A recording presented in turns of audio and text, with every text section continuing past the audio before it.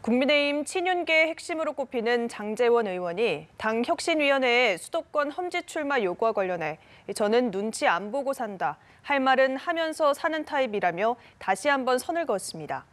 장 의원은 지난 13일 자신의 유튜브 채널 장재원 TV에 한 교회 간증 영상을 올리고 요즘 장재원 험지 출마하라고 한다.